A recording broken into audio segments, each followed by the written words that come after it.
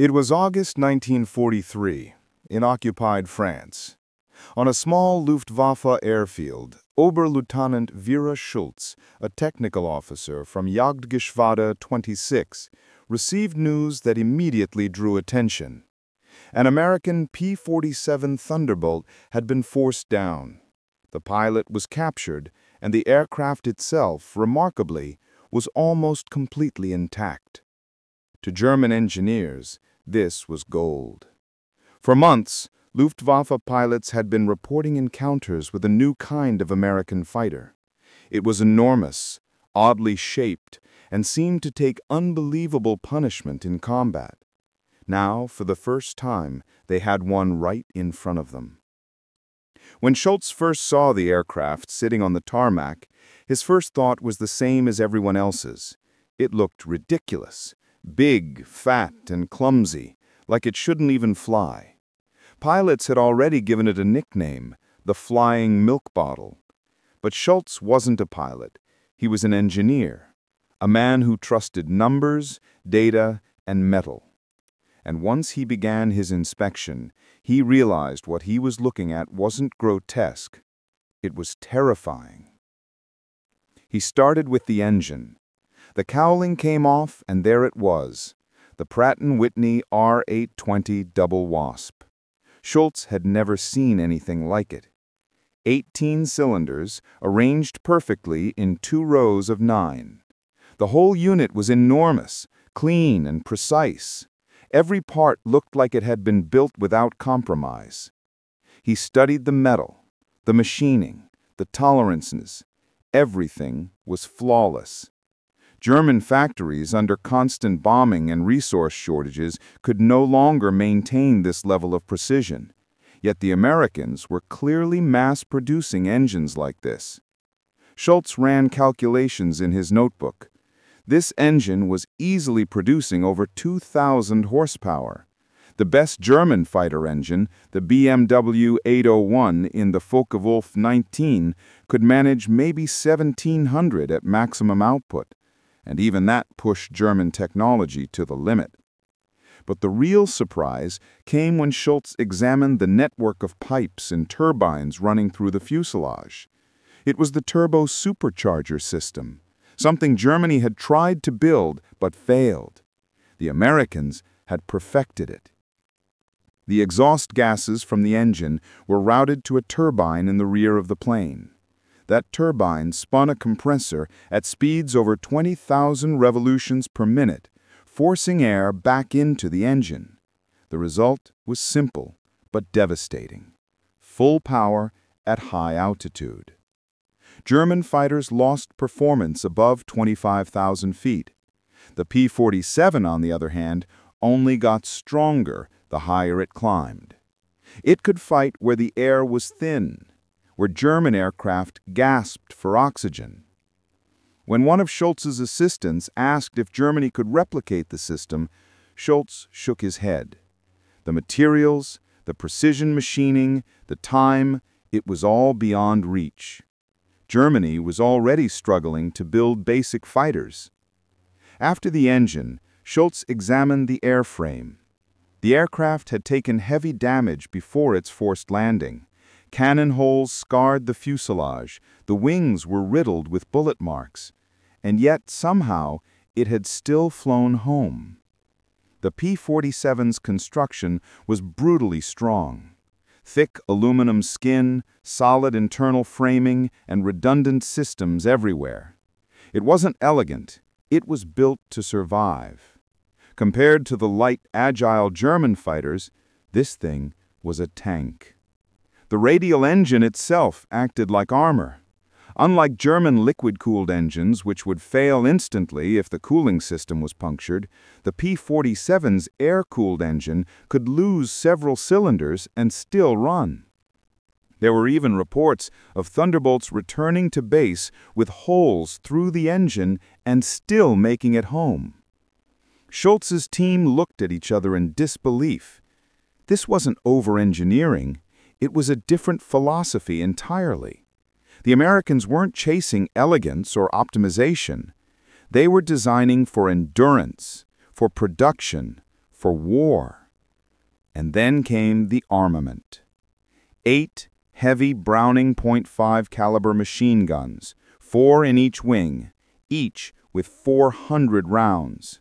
That was more than 3,000 rounds of ammunition. Together, the guns could fire over 100 rounds per second. A single one-second burst could put a hundred armor-piercing slugs into an enemy aircraft. Two seconds, 200. Against lightweight German fighters, it was pure destruction. The P-47 didn't need perfect aim, it just needed to get close and pull the trigger. Schulz noted that German aircraft carried far less firepower, usually two machine guns and one or two cannons, with limited ammunition.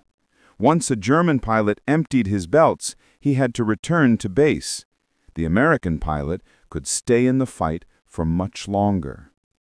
He began to see the pattern.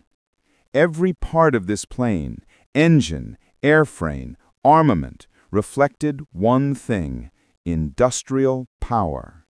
The Americans could afford to build things heavier, stronger, and more complex because they had the factories, the manpower, and the materials. Schulz requested production figures from intelligence sources, and the numbers left him stunned. Republic Aviation was building more than 500 P-47s a month and increasing. By comparison, Germany's entire fighter output from all factories combined was barely 300 to 400 per month. Then he saw engine data.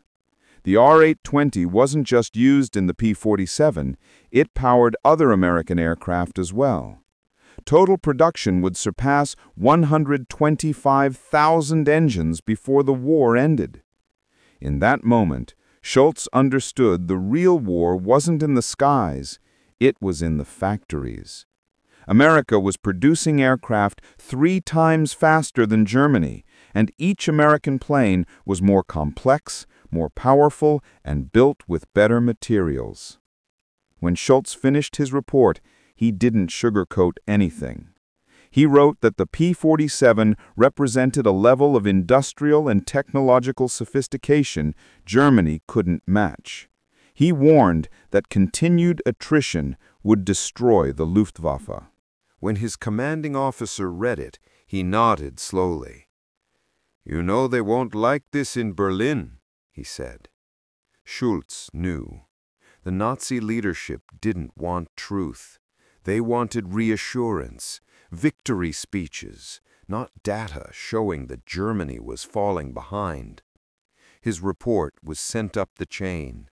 Weeks later, Schulz heard it had been dismissed as defeatist, filed away with no action taken. One official even claimed Schulz had been influenced by enemy propaganda. He wasn't surprised. The regime had always rejected uncomfortable truths. Ideology mattered more than engineering. In the months that followed, Schulz watched his predictions come true. The P-47s appeared in greater numbers, the sky over Europe filled with them. German pilots reported hopeless encounters, attacks from above, thunderous gunfire, and American planes that refused to fall. Then came the P-51 Mustang, even faster and with longer range. Schulz examined one later. It carried a Packard-built version of the British Rolls-Royce Merlin engine, another example of America's vast industrial reach. Everything he saw confirmed his belief.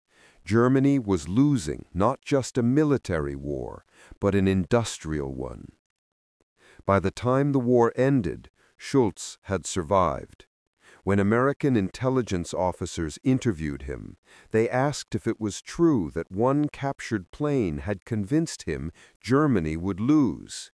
He replied, yes, the P-47 showed me that we could not win an industrial war. Every bolt, every weld, every system proved it. The American officer told him they had found his original report. It had been marked filed, no action required. Schulz just smiled bitterly. I expected that, he said. They didn't want truth. They wanted belief. After the war, when production numbers were made public, Schulz realized he had underestimated the scale. The United States had built more than 300,000 aircraft during the war. Germany had produced fewer than 100,000. America had built over 15,000 P-47s alone, more than all Bf-109s and FW-190s combined. Factories that once made cars were turned into aircraft plants. Companies like Ford and Chevrolet built aircraft engines. While German factories struggled with shortages and bombings, American assembly lines ran day and night. The quality never dropped. The machines kept coming, strong, reliable, and endless. Schulz later reflected that the war was never truly decided by tactics or bravery.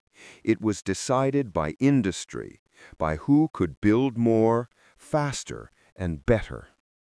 Germany's leadership believed ideology could overcome mathematics. They believed willpower could replace steel, and speeches could replace oil. They were wrong.